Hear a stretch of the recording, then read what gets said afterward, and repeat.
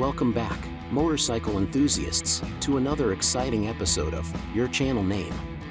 Today, we're diving into the future of two-wheeled power with the 2024 Kawasaki Ninja E1 and ZE1 electric motorcycles. So, if you're ready to experience the thrill of electric riding, hit that subscribe button and let's get started. First off, let's talk about the design. The Ninja E1 and ZE1, designed for urban commuting, both bikes are loosely based on Kawasaki's 400 cubic centimeters models, with incorporating a similar frame, suspension, and brakes. But open the door to a completely different riding experience compared to their gas-powered counterparts. These bikes are sure to turn heads on the road. Now, let's talk power and performance. Underneath their exteriors, both bikes are powered by a 5 kilowatt, about 6.7 horsepower at 2,800 RPM, interior permanent magnet synchronous electric motor.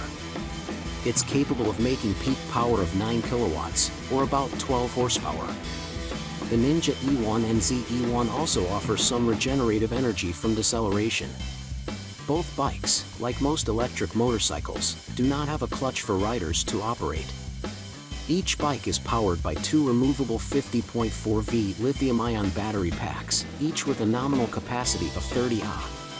The batteries are mounted in parallel under a storage compartment where a fuel tank is typically located.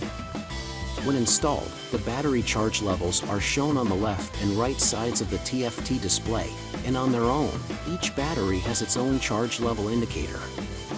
Kawasaki hasn't skimped on technology either.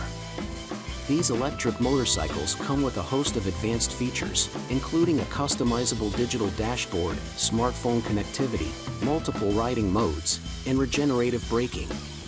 Plus, they are equipped with state-of-the-art safety systems to keep you protected on your journeys. Charging these electric bikes is a breeze. There are three options for charging a battery, by plugging it into a charger, connecting it to a charging dock, or, with the battery installed on the motorcycle, by connecting the charger to a port located in the tail. Only the third method allows both batteries to charge simultaneously, unless you have a second accessory charger.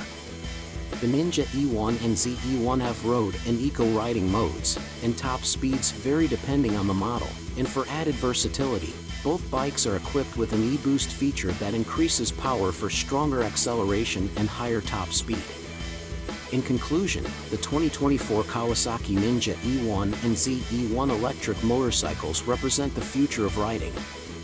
They combine cutting-edge design, electrifying performance, and advanced technology, making them a compelling choice for riders who crave excitement and want to embrace the electric revolution. If you're as excited as we are about the future of motorcycling, don't forget to like, subscribe, and share this video. Thanks for joining us today, and we'll see you on the next ride.